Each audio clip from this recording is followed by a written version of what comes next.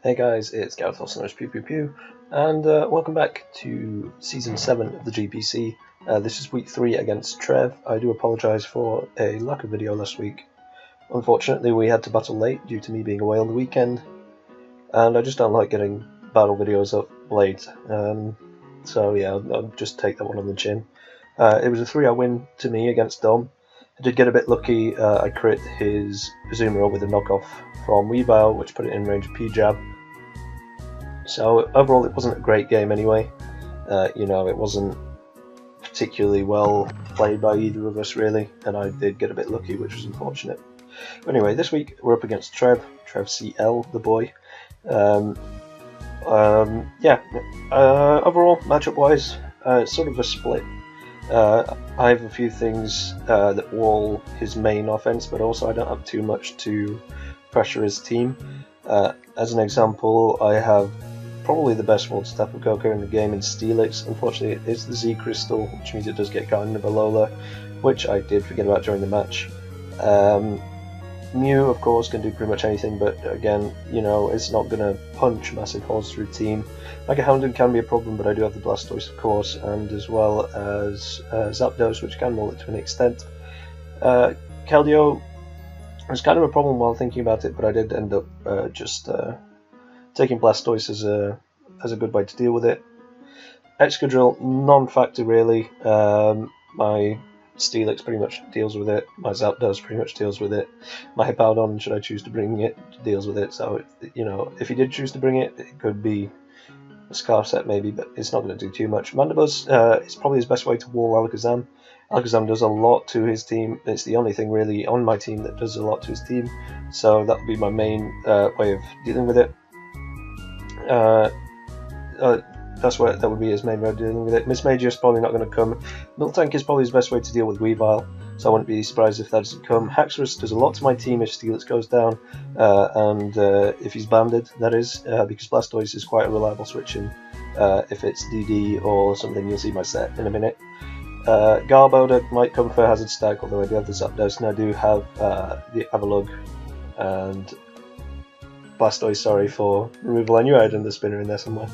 Uh, and Gogoat's probably not going to come, but it's quite a cool pick anyway. So yeah, my, my plan for this game was uh, just trying to all out what he had offensively. Volt switch out with Zapdos if I'm in on the Mega Houndoom or something. Get a free switch into a Mega Alakazam and just kill something.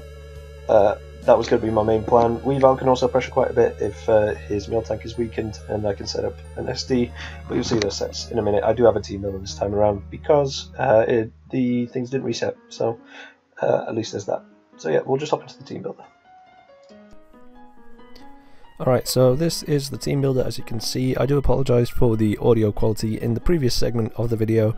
I realised when uh, putting it all together in the uh, on the project thing when I started recording this segment that it was with the wrong microphone so uh, I don't really have time to redo it I'm quite pressed for time it is Sunday today and I need to get this video up so yeah, I'm not going to be able to change that, I do apologise. Uh, let's just get on with it. We've got Steelix with a Shuca Berry.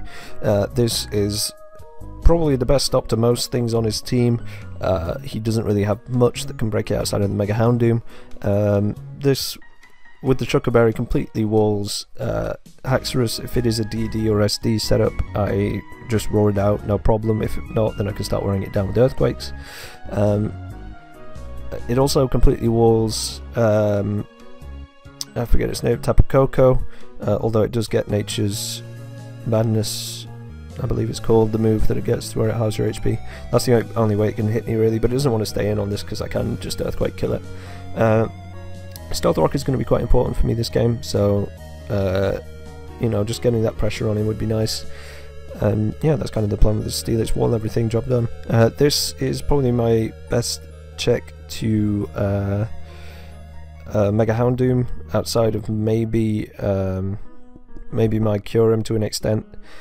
But uh, I kind of needed this to be physically defensive, uh, partly for the um, uh, Excadrill if it did come, uh, but also for other things like potentially physically offensive me, which could otherwise pressure my team if uh, Steelix gets damaged. It's just there as like a backup check to a lot of the things that Steelix would deal with, like um, you know, like maybe his Haxorus I can Toxicate and stuff like that.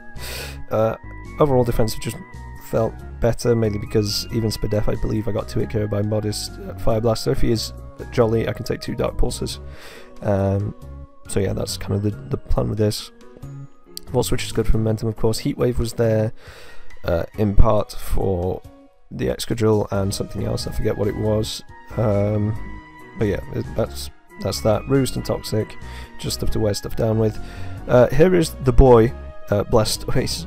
Uh, I initially was running um, Miracle on this for Keldeo, decided to switch it up instead for counter, mainly because uh, Keldeo I can sort of deal with with Zapdos and uh, potentially switch into Kyurem because I'm expecting him to be Scarfed this game, mainly because it outspeeds uh, Megazam, which is very important, uh, and also can catch the Weavile off guard. So yeah, I'm expecting Scarf. I can kind of deal with it with other things by switching around. Uh, but yeah, this is mainly to deal with Haxorus. Uh, all the spreads so far, 2, 2 4, 8, 2, 5, 2, it just felt, uh, it didn't feel necessary to do all the calcs, especially when it didn't really line up. A lot of the things are just, they're not necessarily resists, they're more just a matter of, uh, of uh, switching in. It's, it's kind of a hard matchup for me in the sense that my switches aren't the best, but then again, I do have the Megazam. Uh, so yeah, counter was there because uh, he only has a small chance of uh, killing me with Outrages if he's uh, Adamant Scarf or Adamant plus one uh, speed through whatever means it could be. Uh, also, if I switch in and he goes to the DD, I can just counter on anything that he goes for. It could be literally anything and I can take it. Um, so yeah, that's kind of why it's there. Haze is just in case he starts setting up Calm Minds with his Keldeo on me. Uh, although, I, again, I'm not expecting that set, but you know, you can, you can never be too careful. Um, so yeah, that's the, the, whole plan of this set. It's just to catch it off guard, similarly to what I did last week against Dom's uh, Mega. I've forgotten the name now. Mega Medicham. I hit with the counter and killed it. So it's a reliable strategy if you get it off at the right time, and hopefully I can pull it off this game. Um, then we have Choice Scarf Kyurem. It pressures quite a bit on his team. Uh, Dragon Pulse just strong to just press the button if his Tapu is down. Uh, if not, I've got Earth Power for it, and I've got Ice Beam just for good pressure on his team. Shadow Ball is mainly there for the Mew in case he brings a Spadef Mew. Uh, it does about 40%, and if I get the drop, I can kill it on the second Shadow Ball. Uh, modest for main damage. This speed is just to outspeed max speed Koko, mainly because out of the things on his team that's going to get speed boosts, whether it be Scarf or DDs, it's they outspeed me anyway, so there's no point in investing more into speed. May as well get that little bit of bulk, especially because it is quite a bulky mon with that with those base stats. So that's the whole plan. Just uh, spam Dark Pulse, uh, Dragon Pulse really. Then we have a Focus Sash Weavile, mainly because I expect a lot of his thing, uh, either a Scarfer or something on his team to be running speed gain in some to some measure. So having the the focus sash is very useful, especially when you consider I can set up an SD on, say, a banded uh, Haxorus, then start just punching holes through his team.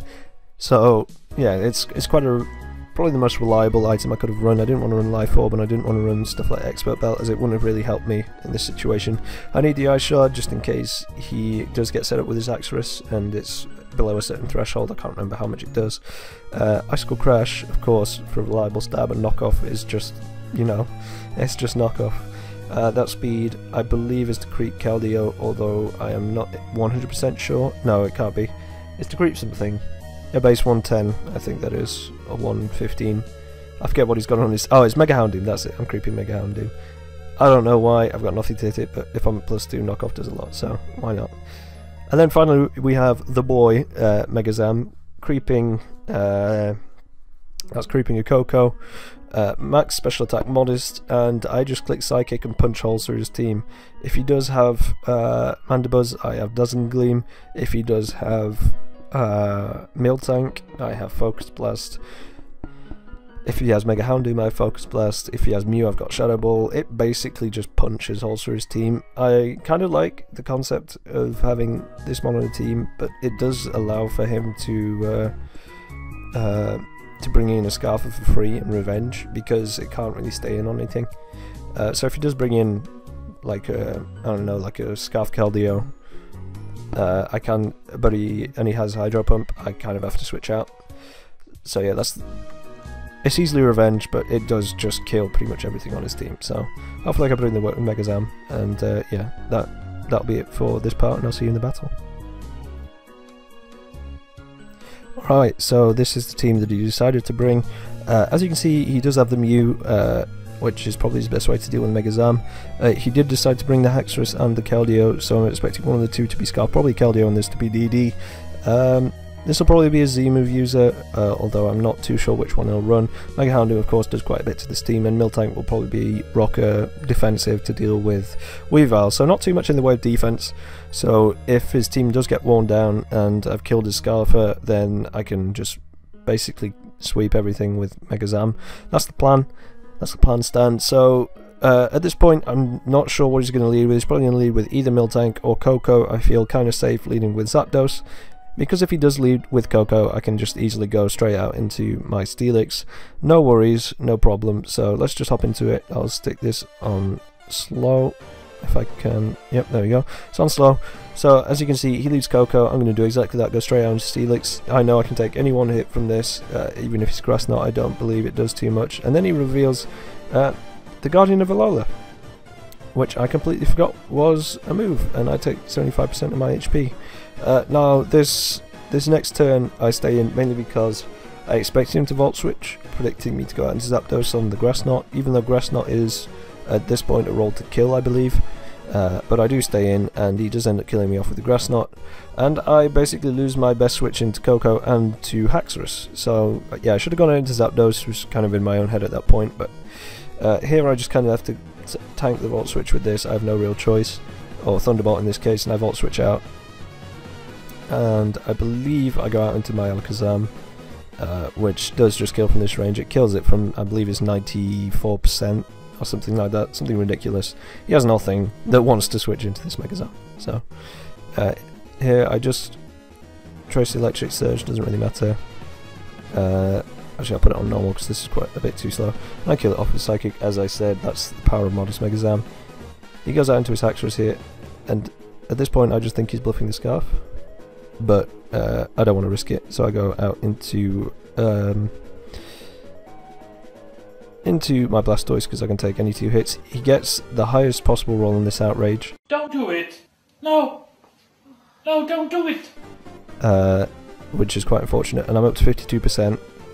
He has a 19.3% to it KO, and as you saw, I do have the counter. And he gets the two highest, two of the highest possible rolls, so I lose my Blastoise. No! No! No! This is really crucial, you'll see later on in the game how much this mattered. Uh, but what that does show me is that he's adamant, so he's probably DD or Scarf, so he's definitely not Soul Dance set, but that's just really frustrating. Because if I'd have lived there and killed that off with a counter, I was in a much better position to deal with this team. Um, here I have to go into Weavile, I have no real choice. The fact that he switches out there tells me that he's probably not Scarfed. Though I can't, you know, you can never be sure. Uh, and he goes out into his Miltank, which I did predict, of course, and go for the knockoff. I knock off his Chople Berry, which is probably for a low kick from this. And I just decide to switch out into my Zapdos, try and get a roost off ASAP, as he does just set up the rocks, which is quite unfortunate because it breaks my sash on Weavile. Uh, just going to roost up, get to some healthy HP as he goes for the Toxic here. I believe I'd Toxic... Uh, I know, I Volt Switch out, expecting him to predict Toxic or something from me, uh, as he just goes for the Milk Drink, I believe, which means I go freely into my Kyurem. Uh, and I believe I just go for a Dragon Pulse here, just trying to ju just judge the damage, see how much I do, and I don't do enough really.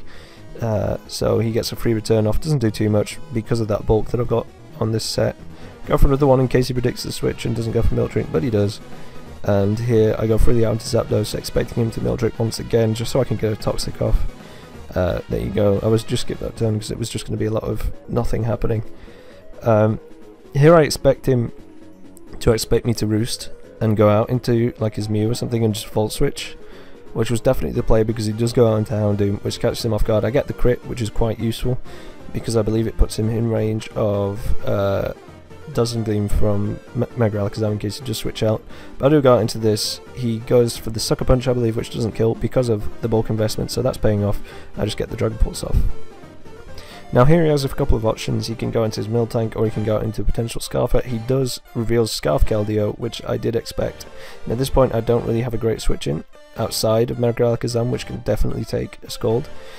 Uh, so I've got not too much of a worry. I take this pretty easily because it's decent special defense and I kill it off with a Psychic. So here I'm feeling pretty confident. I've taken out most of his team. And he goes out to this Haxorus and I'm like, he's bluffing the Scarf again. He's not going to run dual Scarfers. And oh, he is. No! No! No! No, don't do it! So uh, if I did not get the absolute maximum rolls on the Blastoise and this was dead, I pretty much cleaned up with Mega Alakazam and, and uh, Weavile against these two.